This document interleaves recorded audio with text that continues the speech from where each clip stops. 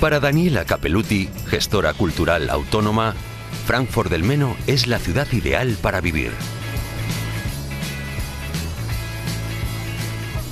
Siempre está interesada en descubrir lugares y eventos especiales.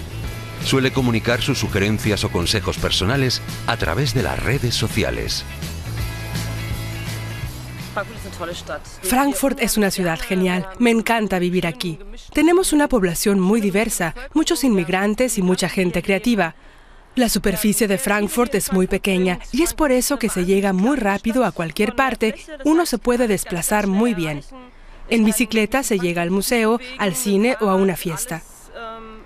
Tampoco me demoro mucho en salir al campo. Tenemos las montañas del Taunus a la entrada de la ciudad.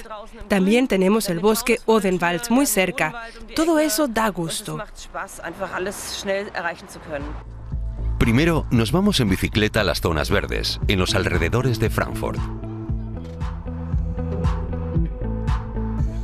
La primera recomendación de Daniela Capeluti es el centro Mein Eppelhaus, un proyecto dedicado a las manzanas y a los terrenos frutales, donde se ofrecen cursos y se venden productos. Gerhard Weinrich, del centro Mein Eppelhaus, le enseña a Daniela Capeluti las distintas variedades de manzanas y las que ya están listas para cosechar. El centro Mein Eppelhaus es un lugar muy acogedor. Uno puede sentarse entre los árboles y disfrutar de la calma. Puedes recoger las manzanas para comerlas, son deliciosas, y puedes comprar todo tipo de productos hechos con manzana. También tienen una sidra muy buena.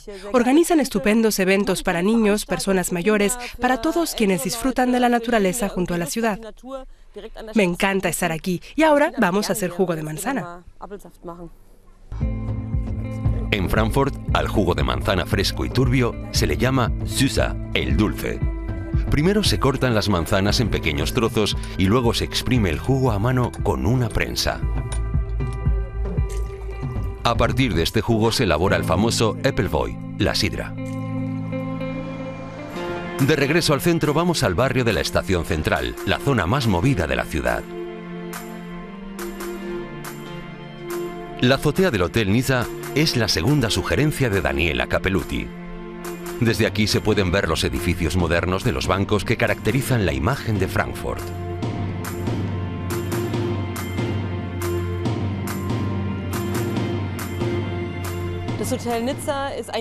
El Hotel Nizza es mi hotel preferido en la ciudad. Yo recomiendo a todos pasar una noche aquí. También se puede venir como visitante. Está muy cerca de la estación central y en la recepción se puede pedir algo para tomar. En la terraza hay una tranquilidad increíble en medio de la ciudad. Desde aquí se observa el maravilloso paisaje urbano. Continuamos con la vida nocturna de Frankfurt. La siguiente recomendación está también en el barrio de la Estación Central, el restaurante Club Michel. Quien hace una reserva por correo electrónico puede participar aquí en la cena colectiva que se organiza una vez a la semana. En la cocina abierta trabajan artistas junto con los dueños del club en la preparación de menús de tres platos que varían cada semana.